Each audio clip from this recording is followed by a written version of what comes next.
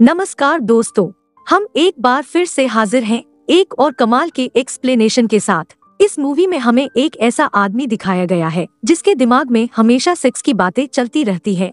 एक बार इस आदमी के घर में उसकी बहन रहने के लिए आती है, और फिर उन दोनों के बीच में क्या क्या होता है, ये हम इस एक्सप्लेनेशन वीडियो में जानेंगे। मूवी के शुरू में हम ब्रेंडन नाम के एक आदमी को देखते हैं। ब्रेंडन की शादी नहीं हुई है, और वो एक बैचलर है और वह न्यूयॉर्क में रहता है। हम देखते हैं कि ब्रेंडन हमेशा सेक्स की बातें सोचता रहता है। ब्रेंडन के दिमाग में हमेशा गंदी बातें चलती रहती है और अपनी इसी सोच के कारण वो कई बार अपने घर में प्रोस्टिट्यूट लड़कियों को भी बुलाता है। इसके बाद हम देखते हैं कि ब्रेंडन अपने घर से ऑफ़िस जा रहा होता है और वो एक मेट्रो में है। उसी वक्त उसे एक खूबसूरत लड़की दिखती है। ब्रेंडन जब उस लड़की को देखता है तो उससे रहा नहीं जाता है और वह उसे घूरने लगता है। ब्रैंडन के इस तरह घूरने से उस लड़की को अच्छा नहीं लगता है। जैसे ही ट्रेन रुकती है, वो लड़की ट्रेन से बाहर निकल जाती है। इसके बाद ब्रेंडन भी उसके पीछे जाता है। लेकिन ब्रेंडन उसे नहीं ढूंढ पाता है, क्योंकि वहाँ पर बहुत भीड़ थी और वो लड़की इसी भीड़ में गायब हो जाती है। इसके बाद ब्रेंडन ऑफ़िस जाता है। अभी भी ब्रेंडन के दिमाग में वही लड़की घूम रही थी। इसके बाद वो ऑफ़िस के बाथरूम में जाता है और अपने हथियार को हिलाकर पानी निकालता है। यह देखकर हमें पता चलता है कि ब्रेंडन कैसा आदमी है और उसके दिमाग में क्या कुछ चलता रहता है। यहीं पर हम देखते हैं कि ब्रेंडन ने अपने ऑफ़िस के लैपटॉप में भी काफ़ी ज़्यादा पोर्न वीडियो का कलेक्शन रखा हुआ है।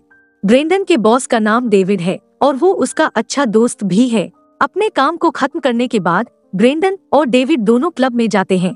यहाँ पर डेविड को एक लड़की पसंद आती है, लेकिन वो लड़की ब्रेंडन को पसंद करती है।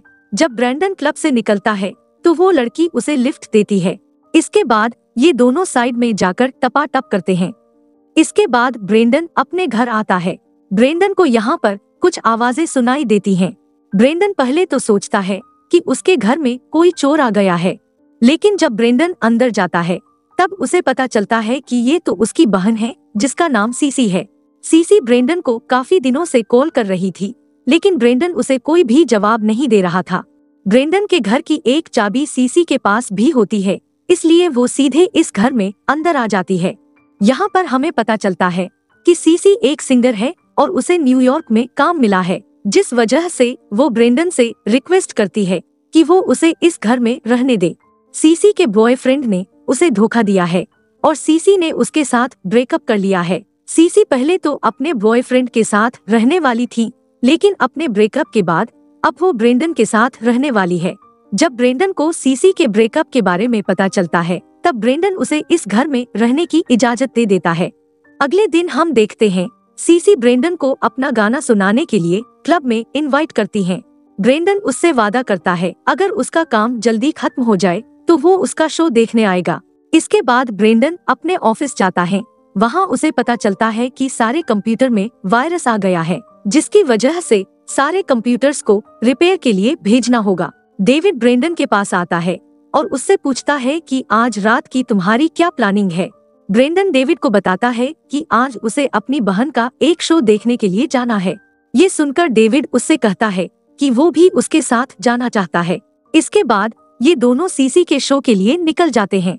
जब ये लोग वहाँ पहुँचते हैं तो ये देखते हैं कि सीसी गाना गा रही है। सीसी का गाना सुनकर ब्रेंडन इमोशनल हो जाता है। लेकिन डेविड को ये गाना बहुत पसंद आता है। वो वहाँ पर सीसी की तारीफ़ करता है और ब्रेंडन से कहता है कि तुम्हारी बहन बहुत अच्छा गाना गाती है। फिर डेविड सीसी से मिलता है और ये दोनों आपस में बातें करने लगते हैं। डेविड धीरे धीरे उससे फ्लर्ट करने लगता है। डेविड की इन बातों से सीसी भी उससे इम्प्रेस हो जाती है। जब डेविड और सीसी को ब्रेंडन देखता है, तब उसे ये सब बिल्कुल गलत लगता है। इसके बाद ये तीनों घर जाने लगते हैं। लेकिन सीसी और डेविड एक दूसरे को टैक्सी के अंदर ही किस करने लगते हैं? वो दोनों ब्रेंडन के सामने ही ऐसा कर रहे थे। उन दोनों को ऐसे देखकर ब्रेंडन को काफ़ी बुरा लगता है और वो काफ़ी अनकंफर्टेबल फील करता है। इसके बाद ये तीनों घर पहुँचते हैं। यहाँ पर डेविड और सीसी ब्रेंडन के रूम में जाकर टपा टप करने लगते हैं। ब्रेंडन उन दोनों की आवाजों को सुनता है, ये सब देखकर और सुनकर उसे बहुत गुस्सा आता है। लेकिन वो कुछ नहीं कर सकता था क्योंकि डेविड उसका बॉस है। इसके बाद वो अपने घर से बाहर निकल जाता है और जॉगिंग के लिए चला जाता है। रात को जब वो अपने घर आता है, तब वो देखता है कि उसके बेड की हालत बहुत खराब हो चुकी है और वो अपनी बेडशीट को चेंज करके सो जाता है। थोड़ी देर बाद सीसी ब्रेंडन के बेडरूम में आती है और उसके साथ सो जाती है। लेकिन ब्रेंडन उससे बहुत गुस्सा होता है और अचानक उठकर वो चिल्लाने लगता है और सीसी को अपने रूम से बाहर निकाल देता है। अगले दिन ऑफ़िस में डेविड ब्रेंडन को अपने केबिन में बुलाता है। डेविड उसे कहता है कि हमें तुम्हारे हार्ड डिस्क में बहुत सारे पोन वीडियो मिले हैं। उसी वक्त डेविड को एक कॉल आता है और ब्रेंडन बिना कुछ कहे वहाँ से चला जाता है। ब्रेंडन के ऑफ़िस में एक लड़की का नाम मैरीन है। ब्रेंडन उससे फ्लर्ट करता है और इसके बाद वो दोनों डेट पर जाते हैं। ब्रेंडन और उसके बीच में काफ़ी सारी बातें होती हैं और ये दोनों एक दूसरे के साथ काफ़ी खुश होते हैं। यहाँ हमें पता चलता है कि मैरीन का डिवोर्स हुआ है।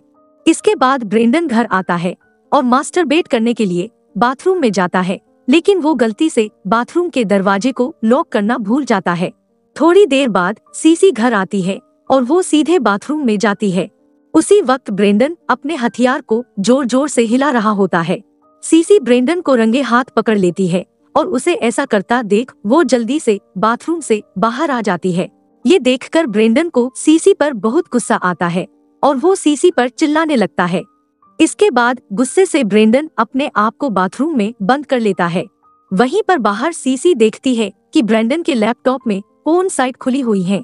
ये देखकर सीसी समझ जाती है कि ब्रेंडन के सिर पर सेक्स का भूत सवार है और हो सकता है कि वो सीसी की भी केनी छेनी बना दे।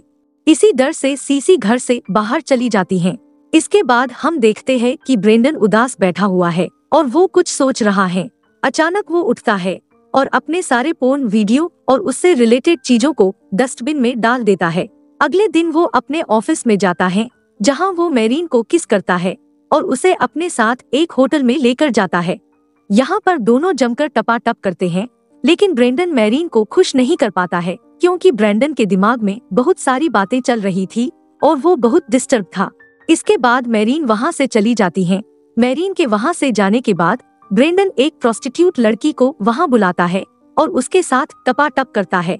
इसके बाद ब्रेंडन अपने घर वापस आता है और वो अपने घर में बैठकर टीवी देख रहा होता है। उसी वक्त सीसी उसके पास आती है।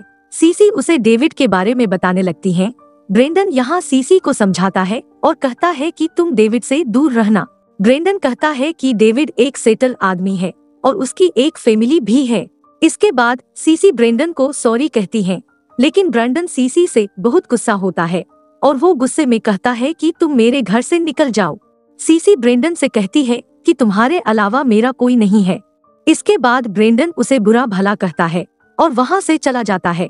इसके बाद हम देखते हैं कि ब्रेंडन एक बार में एक लड़की के साथ फ्लर्ट कर रहा है, लेकिन उसी वक्त वहाँ उस लड़की का बॉयफ्रेंड आ जाता है। लेकिन ब्रेंडन उस लड़की के बॉयफ्रेंड के सामने उससे फ्लर्ट करने लगता है। इसके बाद ब्रेंडन उस बार से बाहर आता है और उसी वक्त उसके सामने उस लड़की का बॉयफ्रेंड आ जाता है, जिससे कुछ देर पहले वो फ्लर्ट कर रहा था। वो आदमी ब्रेंडन को बहुत मारता है। इन सबसे ब्रेंडन काफ़ी ज़्यादा डिस्टर्ब हो जाता है और इसके बाद वो एक एक क्लब में जाता है। उस क्लब से बाहर आने के बाद ब्रेंडन के पास सीसी का वॉइस मैसेज आता है, जिसमें सीसी बहुत रो रही थी और वो ब्रेंडन से माफ़ी मांग रही थी और उसे कॉल बैक करने के लिए कह रही थी। ब्रेंडन सीसी के वॉइस मेल को सुनने के बाद, वो उसे इग्नोर करता है। इसके बाद ब्रेंडन एक प्रोस्टिट्यूट के पास में जाता है और वहाँ वो दो लड़कियों के साथ टपाटप करता है। इसके बाद ब्रेंडन अपने घर वापस आने लगता है और घर वापस आने के लिए वो मेट्रो लेता है, लेकिन ट्रेन अचानक बीच में ही रुक जाती है। इसके बाद वो ट्रेन से बाहर आता है। पूछने पर उसे पता चलता है कि आगे किसी ने सुसाइड कर लिया है। ये सुनकर उसे अचानक से सीसी की बहुत फ़िक्र होती है। इसके बाद वो सीसी को कॉल लगाने लगता है, लेकिन सीसी उसका कॉल नहीं उठा रही थी। इसके बाद वो दौड़ते हुए अपने घर आता है। घर आकर वो देखता है कि सीसी ने सुसाइड करने की कोशिश की है और उसने अपनी नस काट ली है। नस काटने की वजह से उसका बहुत सारा खून बह चुका है। इसके बाद वो उसे जल्दी से हॉस्पिटल लेकर जाता है और सीसी की जान बच जाती है। जब सीसी को होश आता है, तब ब्रेंडन उसे देखकर बहुत खुश होता है। इसके बाद ब्रेंडन हॉस्पिटल से बाहर निकलता है और रोड पर धीरे धीरे चलने लगता है और उसी वक्त वहाँ बारिश होने लगती है। ब्रेंडन रास्ते में बैठकर ज़ोर ज़ोर से रोने लगता है। तब उसे ये एहसास होता है कि वो अपनी ज़िंदगी कितने गलत तरीके से जी रहा था और आखिर में वो अपनी सारी गलतियों को सुधारने का फैसला लेता है। कुछ दिन बाद, हम देखते हैं कि ब्रेंडन अपने ऑफ़िस जाने के लिए ट्रेन में बैठा हुआ है। उसी ट्रेन के अंदर एक लड़की होती है, जो कि ब्रेंडन को घूर रही थी। उसके देखने के अंदाज से ऐसा लग रहा था, जैसे वो लड़की ब्रेंडन से फ्लर्ट कर रही हो। लेकिन हम देखते हैं, ब्रेंडन उस पर ध्यान नहीं देता है, जिससे हमें ये पता चलता है कि ब्रेंडन अब सुधर चुका है, और यहीं पर इस मूवी का एंड हो जाता है।